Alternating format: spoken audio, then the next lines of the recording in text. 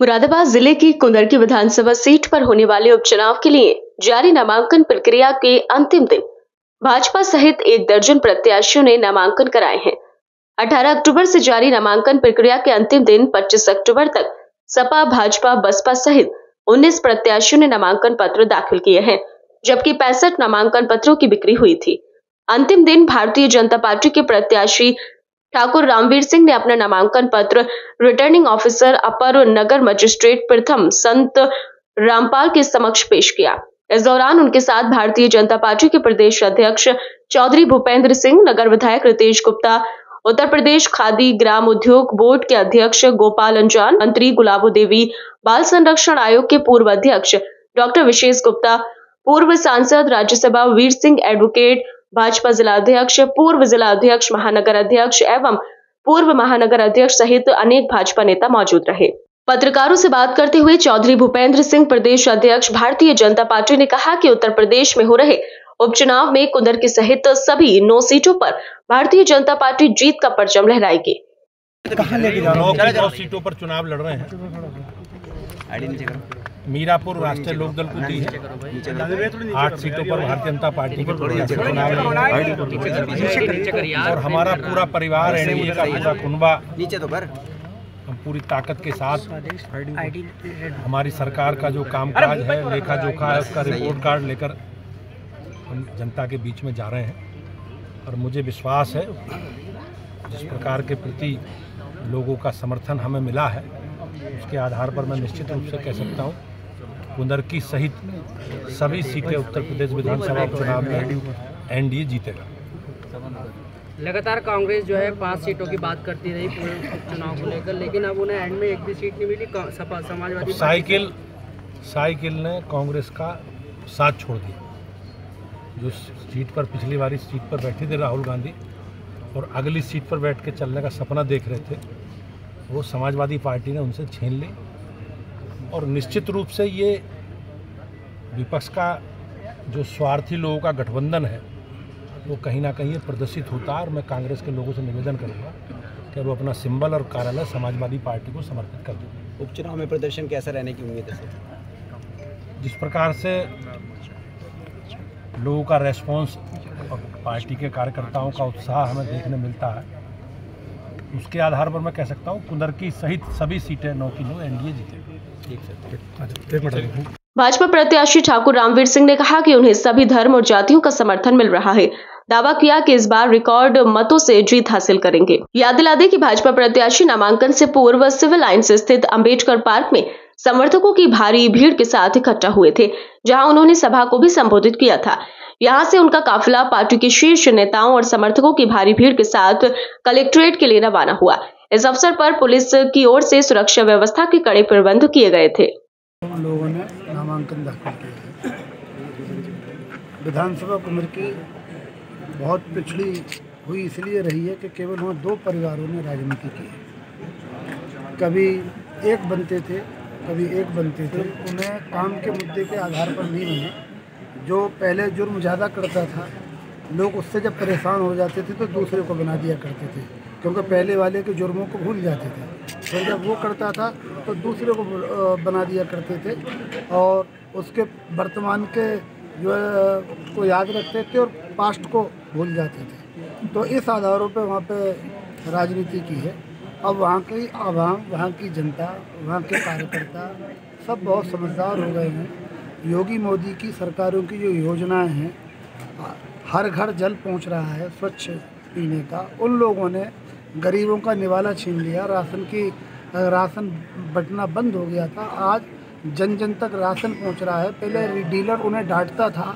आज वो डीलर जो उनके घर राशन पहुँचा रहा है, अगर उपभोक्ता लेने नहीं जा रहा है तो। और दूसरा, प्राइमरी स्कूलों का कितना बुरा हाल था ना गरीबों के बच्चे पढ़ते आज इतना अच्छा है कि कॉन्वेंट स्कूल इस तरह के हो गए फर्नीचर हो गया है, पंखे हो गए हैं, इन्वर्टर हो गया है, बिजली हो गई है, वहाँ जनरेटर की व्यवस्था हो गई है। अध्यापक पूरे टाइम बच्चों के बीच में रह के वहाँ शिक्षा ग्रहण करा रहे हैं पार्क बन गए हैं झूले लग गए हैं। ये प्राइमरी स्कूल और जूनियर हाई स्कूलों का ये अब महत्व हो गया है। सर इतिहास इसके अलावा पहले हज़ार रुपये बच्चे के लिए ड्रेस के लिए शुल्क मिलता था तो वो शुल्क जो है प्रधान के और मास्टर के खाते में जाता था। हमारी योगी जी की सरकार ने वो हज़ार का बारह सौ कर दिया। और आज वो बच्चे की माँ के खाते में जा रहा है वो पैसा। बच्चे की माँ उसे दो सौ रुपये का बनाया या बारह सौ रुपये का बनाया? पहले जो दलाल लोग थे, वो केवल हज़ार रुपये लेते थे और सौ, डेढ़ सौ रुपये की ड्रेस बच्चों को उपलब्ध कराते थे। तो गरीबों के कपड़े भी उन्होंने छीन लिए, निवाला भी छीन लिया।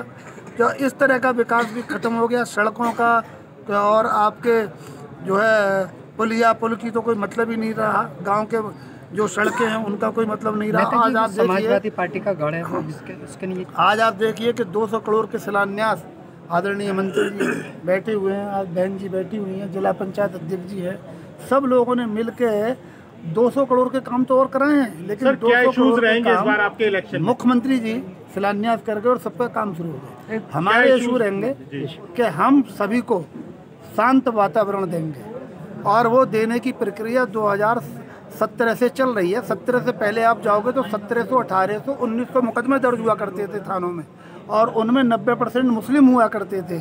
पीटने वाले भी और पिटने वाले भी, मुकदमे लिखाने वाले भी और मुलजिम भी।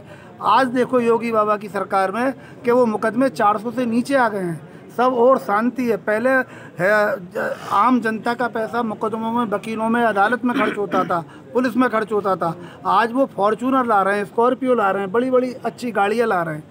लोग अपने भट्टे, अपनी फैक्ट्रियाँ, अपने पेट्रोल पंप चला रहे हैं। ये इस तरह का डेवलपमेंट इन साढ़े सात सालों में दिखाई दे रहा है। लोगों के चेहरों पर खुशहाली नज़र आ रही है। जहाँ तक युवाओं की बात है, हमने दो, एक स्टेडियम पहले बन चुका है और दो स्टेडियमों का पैसा रिलीज़ हो चुका है। तो बच्चों के लिए, युवाओं के लिए भी काम किया है। वृद्धावस्था पेंशन, विकलांग पेंशन, किसान सम्मान निधि, ये सब विधिवत चल रही है। एक पैसे का भी हेर फेर नहीं है। हमारा कार्यकर्ता इतना सदा हुआ है अनुशासित है। पहले थाने से दस दलाल निकलते थे दस घुसते थे। आज हमारा कार्यकर्ता महीने हफ़्ते में एक आध बार जाता है तो काम से जाता है और वो भी जो आ, कानून के दायरे का काम है वो कानून के दायरे का काम हमारे नेतागणों ने जो परंपरा डाल रखी है हमने जो उनसे सीखा है और हमसे जो हमारे जो सहयोगी कार्यकर्ता सीख रहे हैं उस अनुशासन को हमने बनाया है और आज कानून का राज है। किसी बहन का पर्स नहीं छिन रहा किसी की चैन नहीं छिन रही किसी के कुंडल नहीं छीने जा रहे। और आप देखिए हर घर में शौचालय हो गया। भारत के हर गाँव में बिजली बिजली हो गई। मुख्यमंत्री सामूहिक विवाह योजना कितने जो है परचम पे है आज कि हर गरीब की बेटी का विवाह होने लगा। पहले बेचारा कर्जा लेता था और विवाह नहीं कर पाता था। तो ये सब काम हो रहे हैं। आने वाले समय में मैं आपको बता दूँ हमारा संकल्प पत्र भी ये रहेगा कि जो आज थोड़ी बहुत दिक्कतें हैं, ब्लॉक स्तर पर, थाने स्तर पर, तहसील स्तर पर, आज सरकार ने तहसील दिवस लगवा रखे हैं, थाना दिवस में निस्तारण हो रहे हैं। आने वाले समय में हम तीन महीने के अंदर और प्रशासन से मिलके जो है पुलिस से मिलके ग्राम दिवस लगवाना इस विधानसभा में शुरू करेंगे और गाँव की समस्याओं का निदान गाँव के अंदर करना शुरू करेंगे। किसी को भी मुख्यालय भटकने की ज़रूरत नहीं पड़ेगी। आज फोती के लिए छोटी छोटी चीज़ों के लिए आदमी अपने जो है परिवार रजिस्टर की नकल के लिए कई कई चक्कर लगाता था। अब वो लगने बंद हो गए हैं कम हो गए हैं। आने वाले समय में वो बिल्कुल समाप्त हो जाएँगे आप देख। क्या भारतीय जनता पार्टी इस बार इतिहास बदलेगी कुंदर के इस बार ऐसा इतिहास बदलेगी। वहाँ हिंदू और मुस्लिम सब जागरूक हो चुका है। और वो जानता है कि एक उनका नेता गला काटता था और दूसरा नेता नया गला उसका सर उसके ऊपर रखता था। तो वो समझ गए कि एक गला काटता था, दूसरा नया सर रख देता था, फिर दूसरा काटता था, फिर वही नेता फिर दोबारा सर रख देता था। तो आज वो समझ गए हैं कि कहाँ लाभ है और कहाँ हानि है। और ये चुनाव मैं नहीं लड़ रहा हूँ, ये भारतीय जनता पार्टी नहीं लड़ रही है। ये कुंदरकी की आवाम आम जनमानस वहाँ का कार्यकर्ता हर गरीब हर अमीर हर युवा हर वृद्ध महिला और पुरुष